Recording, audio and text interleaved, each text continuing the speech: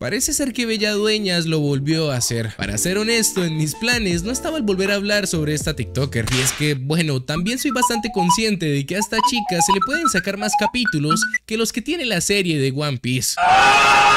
Así que bueno, el día de hoy por petición de muchos vamos a estar hablando nuevamente de Bella Dueñas, pero a diferencia de los anteriores videos en los cuales les estaba contando que esta chica había sido supuestamente poseída, el día de hoy vamos a mostrar cómo la misma Bella Dueñas cuenta supuestamente toda la verdad acerca de su posesión. Amigos, mi estado, no sé si es mi estado mental o algo me hizo esa cosa, dicen que era una y yo no sé qué hizo, pero no me he sentido bien. Creo que hasta mi cara se ve extraña.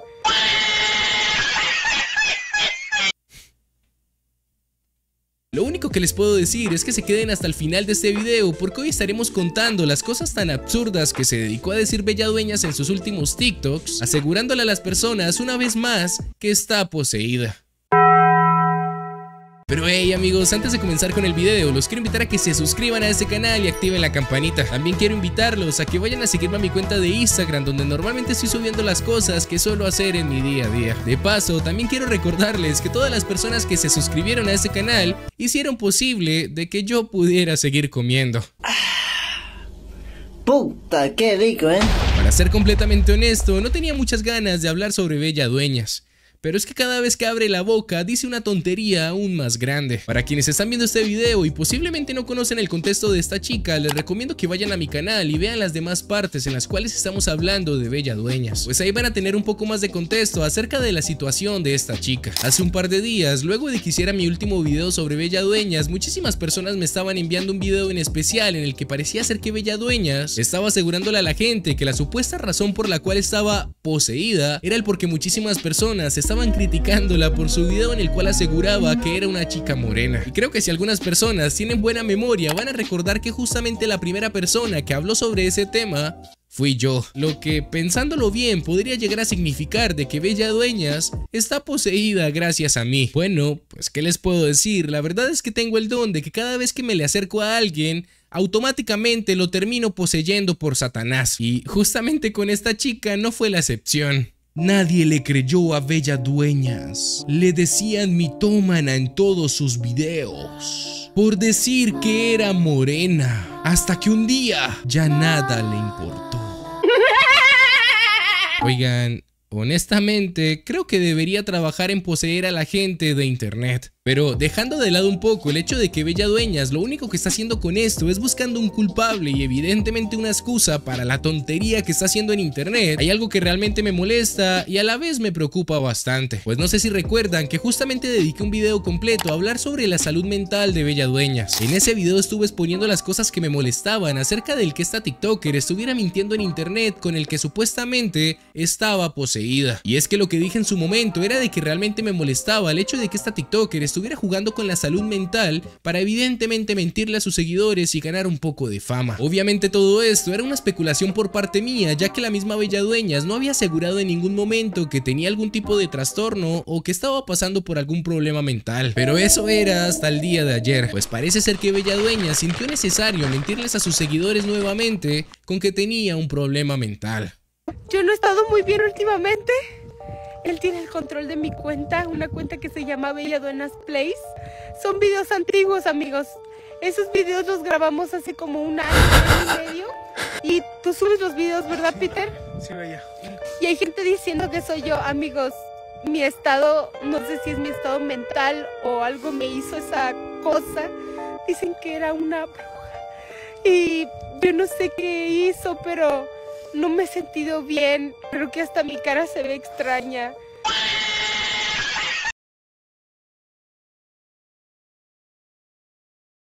Lo primero que asegura esta chica es que su cuenta principal, como la secundaria, la está administrando su hermano. Hermano que evidentemente también está sacando un provecho de toda esta situación. Pues en lugar de estar buscándole un psicólogo o una ayuda para su hermana, parece ser que prefiere crearse una cuenta de TikTok para decir que es el hermano de Bella Dueñas y es el que le está ayudando a grabar los videos. No soy TikToker ni nada por el estilo. Pero ella pues se sentía muy a gusto haciendo los videos y todo. Después, como quiera, la medio criticaban y le decían, oye, ya se te acaban las ideas, que no sé qué. Y cambió un poquito la temática a cosas como tipo comedia, cosas de risa. Y pues se la pasaba muy bien, ¿verdad? Eh, haciendo los, los videos y todo.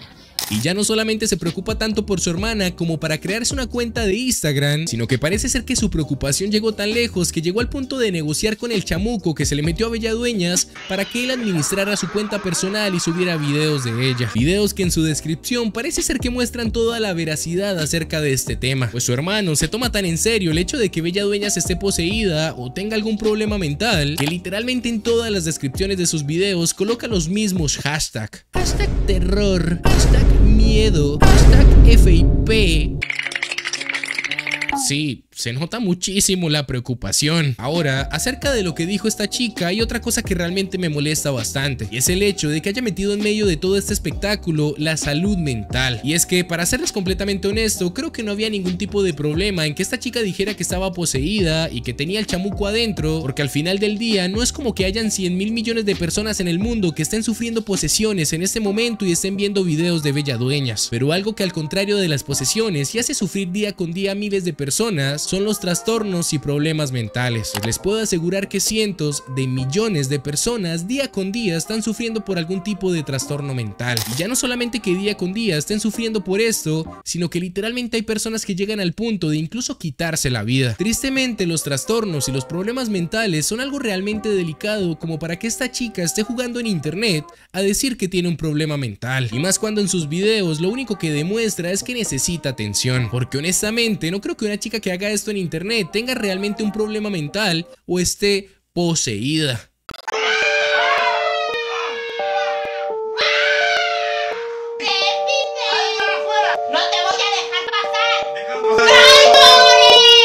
Amigo, es que de verdad son videos muy falsos. Tanto que literalmente tiene hasta un video en el cual se está columpiando con tu papá.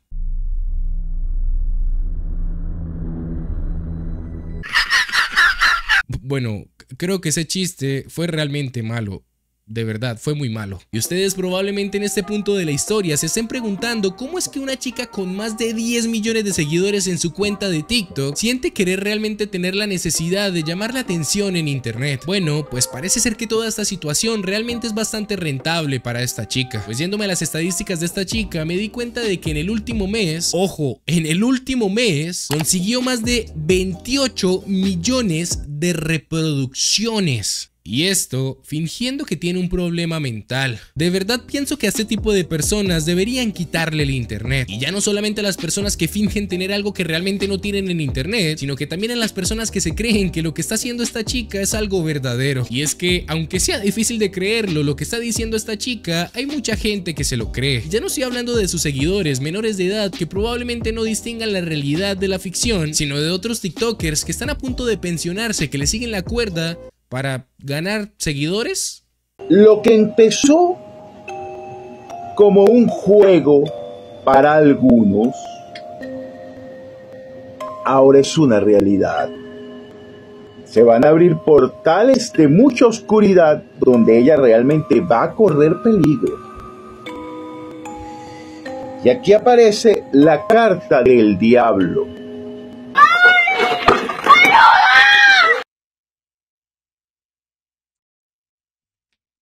Lo que es más fuerte ya no es el hecho de que hayan señores que se estén creyendo lo que esta TikToker está diciendo, sino que hay personas que se creen que lo que está diciendo un señor que le crea lo que esta chica está diciendo es cierto. Y es que siendo completamente honesto, ¿cómo le pueden creer a un señor que se hace pasar por alguien vidente, que literalmente hace videos diciendo que habla por medio de las personas, pero de una forma ba bastante extraña? Mi vida llegó a su finalización. ¿Cuál es su jugador favorito? Para mí, el mejor jugador de esta era es Messi. Eh, supuestamente este señor está hablando por medio de Pelé, un jugador de fútbol bastante reconocido de Brasil, con un balón de voleibol en la mesa. Pero sin duda alguna, si de todo esto pudiera sacar algo, sacaría un consejo. Y es que el consejo que nos deja Belladueñas es que nunca tenemos que creerle absolutamente a nadie. En serio, a nadie. No siendo más, el video ha llegado hasta acá. Realmente espero que les haya gustado bastante y lo hayan disfrutado hasta el final. No olviden que si fue así, les agradecería bastante de que le dieran like y comentaran varias veces para que este video se recomiende. Antes de que se vayan y cierren este video, los quiero invitar a que si llegaron hasta esta parte, comenten en la caja de comentarios la frase Por favor, bella dueñas, es momento de que te detengas. No siendo más, les mando un beso enorme a todos amigos y como les digo siempre no olviden bañarse y hacer su tarea. Chao, chao.